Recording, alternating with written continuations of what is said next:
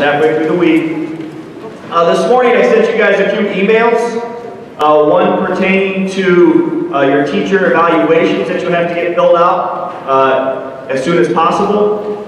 Uh, I've also got blue papers uh, so before you leave today, please grab a copy of these teacher evaluations. The, the link is in the email if you'd rather share the link with your teachers. Um, but these blue forms are also something you can give your teacher as they do their self-evaluation or their uh, teacher evaluations for you. Each of you need to have four of these completed uh, to qualify for either the regional or the governor's work ethic certificate. So we need to have four of these completed turned in. Uh, it's a link to a Google form that the teacher will do, and then the results come directly to me, and then I can group you and make sure that your evaluations are in order. So grab one of those. If I didn't make enough copies, I think I do. If I don't have enough copies, um, and you just want to come by and see me in my room, A531, stop on by, and I'll give you a copy of it there as well. If you have an evaluator, like maybe you have a job, and you want to get an evaluation from your boss, uh, there's a separate sheet that you need filled out. I have copies of those in my room. I didn't bring those because I didn't think that would be a situation that applied to everybody. So if you would like your boss to fill out one of your evaluations instead of having four teachers, by all means, come by my room and I will give you that form that you can take to work. All right, so make sure we're checking those emails uh, and getting things completed on time. Another email I sent was about your self-evaluation. We should be doing our third self-evaluations. Again, it's a Google form. Click on it. Complete your third evaluation. I'll be able to check to see if you've done two or three. If you had only done one previously, still do this one, and then do another one in about a month. I'll send a reminder for that if you haven't got your third evaluation done yet, to complete your third evaluation at that time. But we should all be on our third evaluation right now. Uh, for some reason you missed one, uh, we just have to space those out about a month in between. Um, see what's next. Uh, our next meeting will be March 18th. I do want to bring that up. So March 18th is the week before spring break. That Wednesday will be our next and our last meeting. Right, our last group meeting for the year.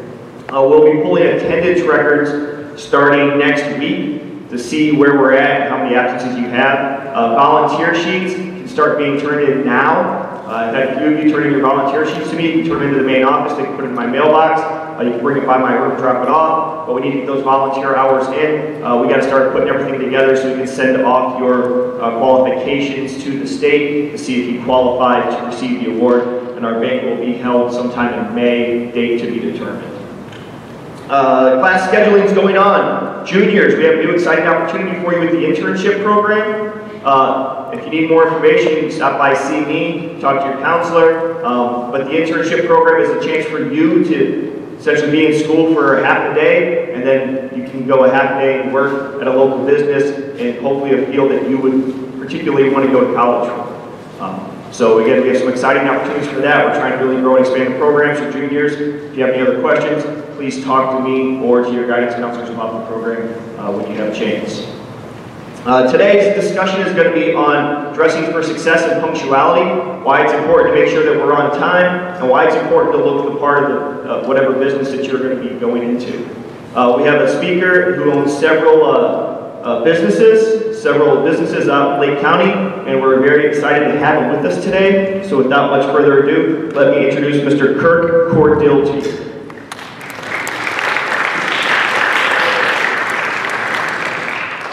Hey, good morning. Happy to be with you today. My name is Kurt Cordell. I'm one of the owners of a couple car dealerships locally, BMW of Schererville and South Shore Jaguar Land Rover. Cars are my passion, and it's really cool to be able to combine the passion with the profession. I started working in dealerships. I just wanted to be around cars when I was about your age. I was about 16, and I started washing cars, I drove a parts delivery truck, and I really started from the bottom. Went to college, after that started with a large dealer group, went back and did my MBA, and I started with the BMW group after that. I spent about 20 years with BMW, and it kind of took me around the world. It was a whirlwind tour. I spent 11 years living and working overseas. Uh, so I spent two tours through Munich, Germany for BMW headquarters. Had to learn a foreign language. I never took German in high school or college. Uh, I think it's a lot easier to learn a foreign language at your age than, than the age I was at. Uh, spent six years in China. I started BMW's financial services companies in mainland China and Hong Kong back in 2008. Really cool opportunity to be able to do a startup at a big company like BMW and to do it in a market like China, which when I went there, BMW was selling about 66,000 cars a year, and when I left, about 325,000 cars a year. And last year, BMW sold 790,000 cars in China last year. So pretty cool. Uh, but then I, I, like to say I had a reverse midlife crisis. I punched out of corporate, I got married, and I moved to the suburbs. So I originally grew up in Mishawaka, Indiana, so I'm a native Hoosier. And uh, fortunately, in BMW, I got to a point that I was one of the global vice presidents, but what that also meant was I was probably never going to get back to the Midwest. And at a certain point, you know, I think Dorothy from The Wizard of Oz said it best, there's no place like home. And this opportunity allowed me to uh, stay with BMW in a different way, uh, step out on my own as a business owner, and uh, get back to the Midwest. So it's great to be back, and it's really nice to be, you know, 15 minutes away from friends that I grew up with, and, and uh, it just makes, makes life a little bit sweeter. So, talking today about, let's start with punctuality. So what about punctuality? Well, number one, what does it show about you? It shows you're dependable, shows you're organized. But I think the most important thing is that it shows you have respect for other people. You know, I came with Will Glaros this morning and I said to Will, how many times have we met where we haven't been on time? And there hasn't been a time. I know he has a busy schedule. He knows I have a busy schedule. I appreciate that he takes time out of his schedule to meet with me. And because of that, I'm on time. If you're in a work environment, if you are not on time, that business gets interrupted. If you're in a retail work environment, it means other people, your coworkers, have to cover for you because the job has to get done. And that's out of respect for your coworkers that you show up on time. It is. And if you think you're going to be able to change schedules, work with somebody else, and you don't have enough respect for them to show up on time, it's not going to work very well. So I think the biggest thing about punctuality is respect for others and respect for yourself. Showing that you're dependable, showing that you're organized. There's some other things too. If you're running late for something, it's a little stressful, right? You're driving through traffic, you're running to get somewhere, creates, creates more stress. If you show up on time or even early, there's a lot less stress on you personally. And I will tell you, having worked in Germany, you know, punctuality is holy in Germany. Like everything runs by the rules, and being early is being on time. You know, I will tell you the difference between American business and German business is that in meetings in the U.S., if you get to the room on time, you're okay. In Germany, the meeting starts exactly when the meeting is scheduled. Everybody's supposed to be in their place, have unpacked, got presentations ready, be ready to go. Uh, so punctuality in different cultures also takes on a different meaning. You know, China was a little bit more about being near the room at the time the meeting was supposed to start. So it does depend on, on the cultures and the settings as well. Um, for me as a business owner, you know, showing up for an interview, if, if somebody shows up for an interview late, I'm most likely not going to hire them. Because in an interview, you were supposed to be putting your best foot forward.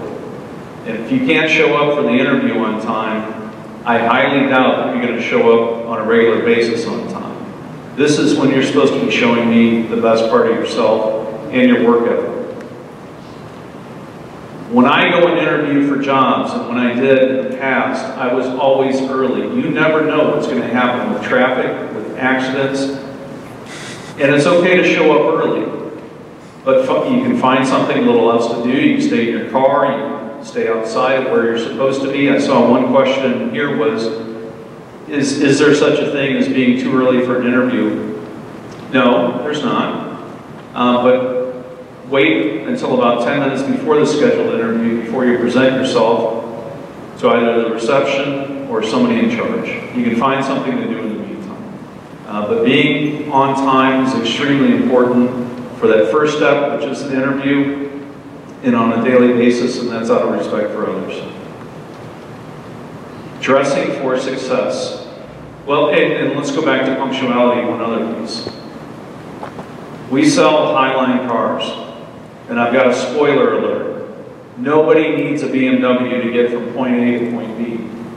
But wouldn't you really rather drive a BMW to get from point A to point B? A Jaguar Land Rover runs the same.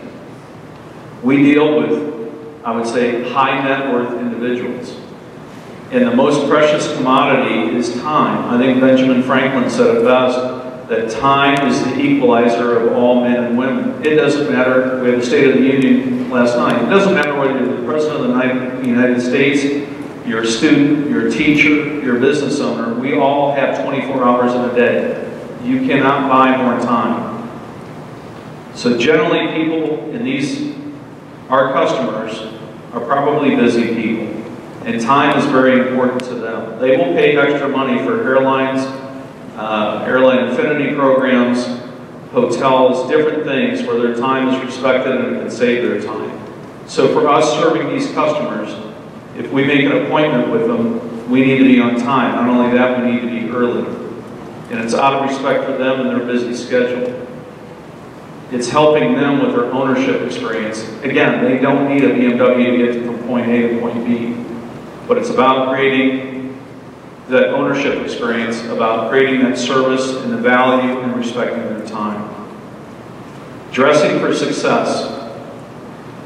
It really depends on what environment, what's the occasion, and what image do you want to project. You have to know your audience. Are you going to a party? Are you going to Starbucks? Are you going to work? What is the occasion? And if you don't know what to wear or what's appropriate, do a little bit of research ahead of time and find out what would be appropriate or ask somebody. You know, I will tell you, attire, dress in the workplace has changed dramatically from the time that I started in business till now. You know, when I started, it was always a suit and tie, you know, leather soled shoes, nice leather shoes. It's not that way anymore. And it becomes a little bit more confusing about what's appropriate. I've got a meeting tomorrow night where I had to ask, what is the proper attire? Don't be afraid to ask. You know, meeting with an executive. Is it suit and tie? Is it a jacket appropriate? What is appropriate? So don't be afraid to ask somebody else about what the proper attire is. When you do make that selection, make sure it's neat, it's clean, it's pressed, your shoes are shined. If you're wearing sneakers, make sure the white is clean. It, it doesn't matter what you're talking about, but it's about having a professional appearance. And again, what image do you want to project? If you see somebody that's nicely dressed and you wonder where they got their clothes, ask them. Find out where they. And if that's what you, the image you want to project, do some research on it. But it really comes down to that. I will tell you, as far as confidence, no matter what it is in life, if you are confident in what you are doing, you're going to be more successful. I saw a question, one of the questions was about, can you tell the difference in the performance of a salesperson or an employee based on how they dress? The answer to that is, yes, I can. If a salesperson shows up and they look like a million dollars, I know they feel really confident. And I know the likelihood of them selling a car that day is probably dramatically increased. So it may not be in retail, but whatever you're doing, confidence is key. It can be sports, it can be your personal life, it can be your love life, um, and your professional life. If you have confidence, you're going to be more successful. And if dressing that way gives you more confidence, you will be more successful. And as far as finding out what's appropriate and what other people are wearing, you know, I had some good mentors along the way that helped me. You know, my dad was an aerospace engineer. I've gone a little bit further professionally than he did. And without mentors along the way, I probably, I know I wouldn't have been as, as successful. And it came down to getting some advice on what was appropriate for what occasion, and showing up neatly pressed, clean, uh, shoes shine, everything. I will tell you, there was one of the uh, gentlemen that ran all of BMW globally. When he did an interview, and I thought it was kind of funny, but he looked at your shoes, and he wanted to see if they were shined, and more specifically, he wanted to look at the heel on the shoe, because heels wear unevenly. He wanted to know how much attention to detail you had, and if your heels were worn unevenly, he probably wasn't going to hire you. Now that's somebody that really pays attention to detail. But that is things, those are things that people look at in interviews. High net worth clients, again, we are serving high net worth clients. If you look at luxury hotels, how people present themselves, it's a professional attire, it's a professional appearance. It's about building trust. If you look like you know what you're doing, people have more confidence in you from the other side. People will trust you more. If you're in sales, one of the biggest things to making a sale is establishing trust with your potential customer. Looking the part helps put the other person at ease that you might actually know what you're talking about. If you look the part, you need to play the part as well, but looking the part is the start. First impressions are vitally important. People will generally make or gain, gain an impression of you in probably the first two to five minutes of their interaction with you. So that first two minutes is crucial. A lot of it is visual if you're meeting in person. How does that person look? How are they dressed? Do they look the part? Are they friendly? Do I think they know what they're talking about? And if you think about what we're selling, we sell cars anywhere from $5,000 to $200,000. And for most people, buying a car is the second largest purchase they will make in their life, the first being a home. And some of these cars and vehicles are the price of homes. And so people are a little bit nervous when they come in and they spend that kind of money. And they want to know that they're dealing with somebody that knows what they're doing. Can you tell me about the product? Can you represent the product? It's a little bit of a lifestyle. They are buying part of a lifestyle. I don't need a BMW, a Jaguar, or a Land Rover to get from point A to point B, but I want to have one to get from point A to point B. I want the service and convenience that comes with it. That's what they're buying. And how you dress is a big piece of that. As far as the, the questions that have come in, and I'll, excuse me, I'm going to pull these out for a minute. You know, I think one of them was about piercings and tattoos. If you have facial body piercings, take them out for an interview. But again, I, I would say if you're coming to interview with us, but again, it depends on where you're interviewing and what you're interviewing for. It may be acceptable at some places of work. Uh, for us, it's probably not. Tattoos. Cover them up if they're visible. That's it. But it really depends on what job are you interviewing for and what's acceptable in that workplace. And try to match your dress and attire to where you're going to interview or where you're having a meeting or the party or different things. Every workplace is different. It's very different now. Some are very casual where jeans are acceptable. Others are not. Others are more formal. But you need to find out what is acceptable in that environment and kind of dress to that or dress a little bit up from there. Um, being overdressed is never a problem. Being underdressed is a problem. So if you have any questions about it, err to the side of being a little bit overdressed. As far as overdressing, you know, you also want to dress for the job that you eventually want to get. So if you want to become a manager, if you want to become an executive, you know, dress the part. Um, because people will start to believe that you can actually fit in in that piece. You know, I worked for a European company for a very long time, and I would say European styles, listen, the Europeans, Milan, Munich, Paris, they're probably at least a year ahead of fashion on of New York, maybe even two. So when I went to work overseas, I really had to take a look at what I was wearing, what other people were wearing, and kind of match it appropriately. And that did help me, but I had to learn a lot. Um, and it depends on, again, it goes back to the environment and what you're trying to accomplish. Other questions that we have here, let me take look.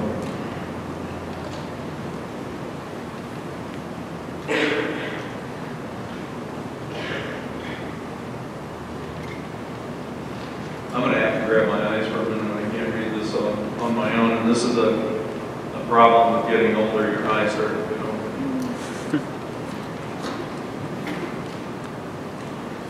Assuming that you have hired employees, what do you expect walk through the door of your dealership? Uh, good question. Number one, going back to punctuality, I expect you to be there on time or that you show up a little bit early. Um, we spend a lot of time together. Uh, it is a retail business. We're open six days a week. And part of it is, are you going to fit the culture as well? Right? We spend a lot of time together at work. Are we going to enjoy working together? We really have a motto of, work hard, have fun. And do I want to see you every day is one thing I will assess in an interview, right? Do I want to see you every day in my office? Do I want to see you every day in the place of business? And we have, I will tell you, we have a really diverse uh, team and crew at, at our dealerships. If you go into BMW, we have between 10 to 12 salespeople and it, it runs the gamut. There are four languages spoken on the floor. We have English, Spanish, Arabic, and German. We have male, female, we have young, we have middle-aged, we have older. For me, the biggest thing, again, going back to the second largest purchase you're going to make in your life, is that somebody coming in is able to find somebody else that they relate to or that they feel comfortable with. And maybe it's just part of me having been around the world a little bit, like I enjoy the diversity. Um, we have two female salespeople on the floor. We've got, uh, you know, African American, Hispanic, uh, Arab. It, it's, it's kind of the United Nations. And it's a, a little bit of a, a motley crew, if you will, but it's fun. And everybody brings something to the table. As much as you see on TV about the uh, people not being able to get along in the U.S., I will tell you, from what I see on an everyday basis, it's not the truth. We have a good team. It's a very diverse team. It makes it a little tougher to manage at times, but it is a lot of fun. And again, anybody walking through that door should be able to find somebody that they feel comfortable with. And as far as professionalism, it comes to the basics. Greet customers when they walk through the door. I learned this, I worked at the Gap as well as at the dealership, so I slung jeans when I was in high school. One of the first things they taught us was greet a customer within 30 seconds. I still believe that. And make them feel welcome. Welcome to BMW Schererville, welcome to South Shore Jaguar Land Rover. And help put them at ease. What can I do for you? How can I help you? And that's what I expect of people coming through the door.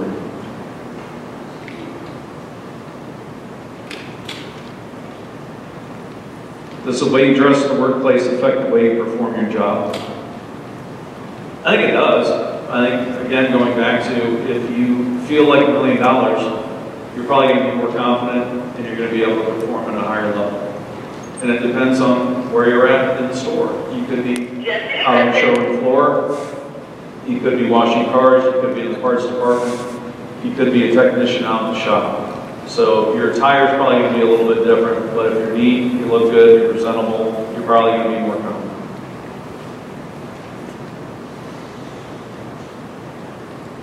Do you notice a difference in customer interactions with your salespeople between those who are professionally dressed and those who are less professionally dressed?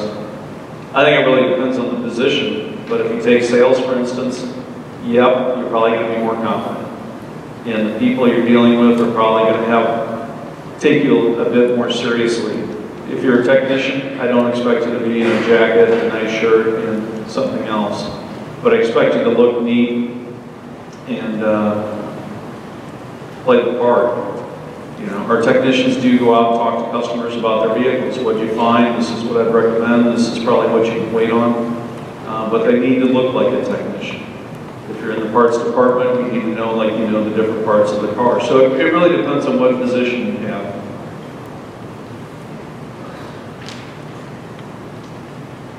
Is it possible to be too early for an interview? No. But don't present yourself until probably 10 minutes before the interview is supposed to start. Take a look around, the place of business, wait your car, do something else. How do you know when to dress up more than usual? Uh, Ask somebody that knows a little bit more about the occasion you're going to. Again, reach out to people. Reach out to your friends, hey, what are you wearing to the dance tonight? You do this already, I would assume. And it's kind of similar. Um, And if you don't know, reach out to the person that invited you or, or is in charge. Yep. Okay. Um, Thank you for having me today. Really appreciate it. Hopefully,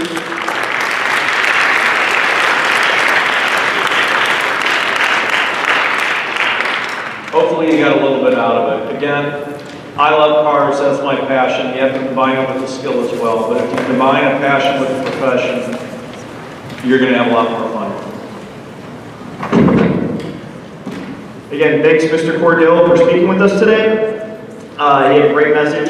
Uh, don't forget to get your blue packets on the way out. Uh, again, I got some down here in the front, uh, some for Mr. Marks in the back, and some on the other side. Uh, you guys will be going to your sixth block class, sixth block.